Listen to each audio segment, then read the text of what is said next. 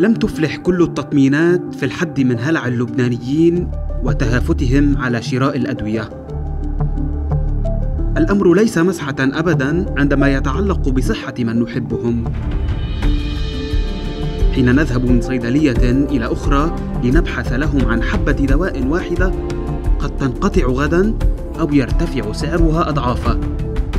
بعض الناس آه، طبعا آه، يعني عايشة تحت هاجس رفع الدعم. أو تنظيم الدعم. وما في شيء واضح لحد هلأ. يعني إحنا من أربع أشهر آه، طلع تصريح إنه بدين رفع الدعم بآخر السنة. ومن وقتها الناس منا عارفة شيء لهلا هيدا خالق هلع عند المواطنين وعم بيخلي الناس بقى تعتمد على حالها وتحاول تشتري دواء وتحط ببيوتها وتخبي دواء.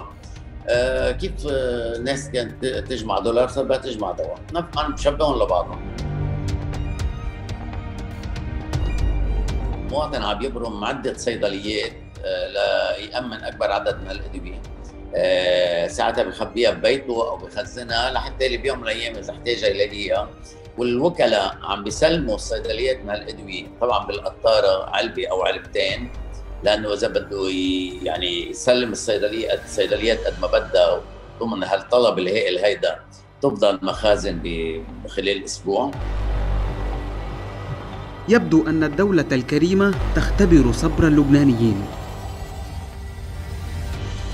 أيها المواطنون نعلمكم أن سعر الدواء قد يرتفع إلى ستة أضعاف في حال رفعنا الدعم عنه.